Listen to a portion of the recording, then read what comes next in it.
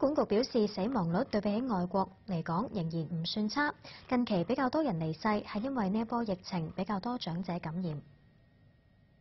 第二波四月嗰陣時咧，嗰陣時咧就通常都係誒即係外地翻翻嚟嗰啲學生，咁整體個年齡層咧其實係好唔同。